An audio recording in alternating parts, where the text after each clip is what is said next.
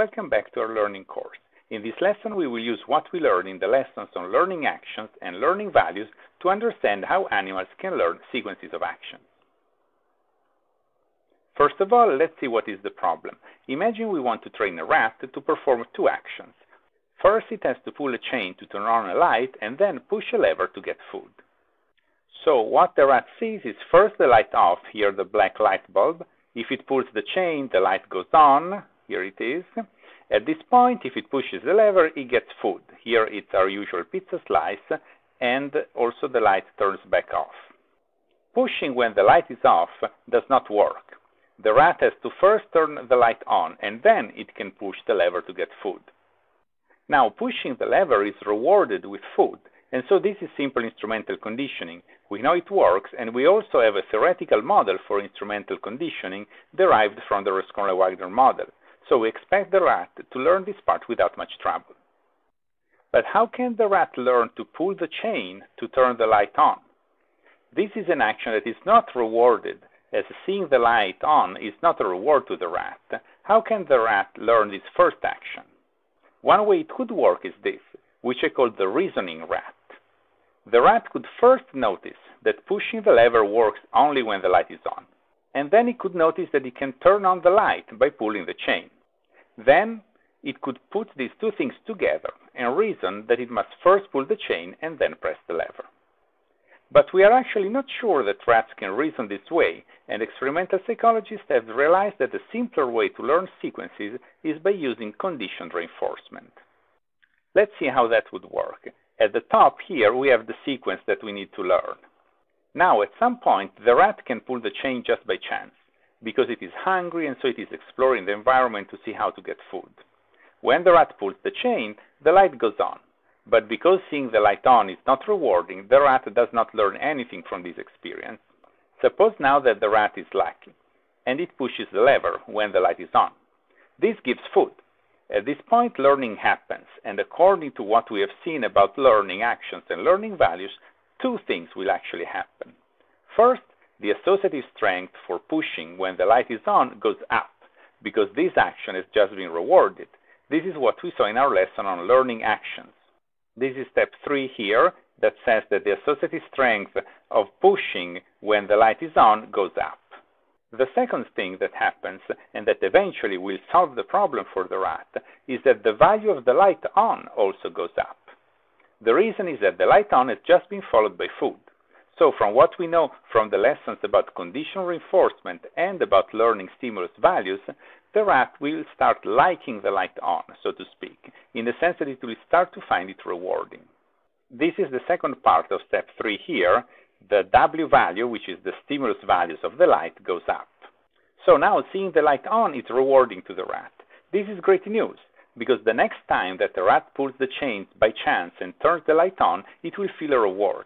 This means that the associative strength between the light off and pulling will go up a bit. And this is summarizing point 4 and 5 here. This goes in the right direction because it means that the next time the rat will be more likely to pull the chain when the light is off, because now there is a little bit of associative strength for doing that action.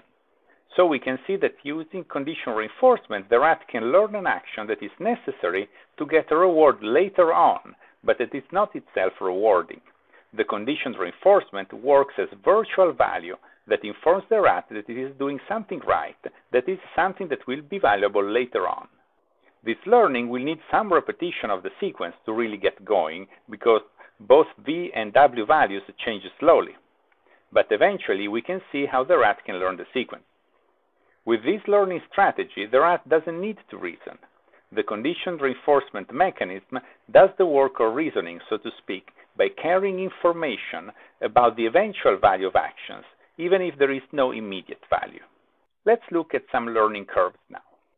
Because we have a sequence of two actions, we will have one curve about learning the first action that graphs the associative strength of that action, and another curve about the second action. The curves that you see in the pictures here are not real data, but computer simulations of our learning models to show you how they work.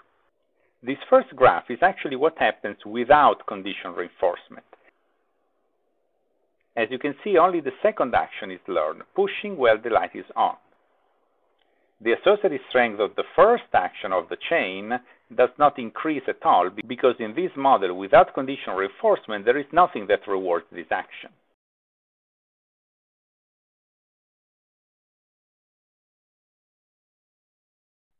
The second graph instead is what happens with conditional reinforcement. The left part of the graph shows the associative strength on the first and second actions. The second action, pushing when the light is on, is learned first because at the beginning only this action is rewarded by the actual value of the food. But as this action is rewarded, the light on also gains conditioned value, as we see in the right part of the figure that plots the value of the light on. This happens, as we said on the previous slide, because the light starts to be followed by food, as the animal learns the second action. Going back to the left part of the figure, we see that soon the light gains some conditioned value, and as soon as that happens, the associative strength of the first action also starts to increase. This increase is slow at first because the light still has little conditioned value. But as the value of the light increases, we can see that the first action is also learned rather quickly in the end. At the end, we see that both actions end up with a large associative strength, meaning that the whole sequence is performed reliably. When the light is off, the rat pulls the chain and turns the light on. When the light is on, the rat pushes the lever and gets food. In summary, we have seen a simple model of how animals can learn action sequences that doesn't require any sophisticated reasoning. The mathematical model with learning associative strength and learning stimulus values is relatively new, but as we know from our lesson on conditional reinforcement, the basic idea of linking conditional reinforcement to action sequence learning dates back to Skinner's work in the 1930s. As I mentioned in our lesson on conditional reinforcement, animal training makes a lot of use of conditional reinforcement, and understanding this concept can help us improve animal training and welfare. This lesson is over. Happy learning to everyone.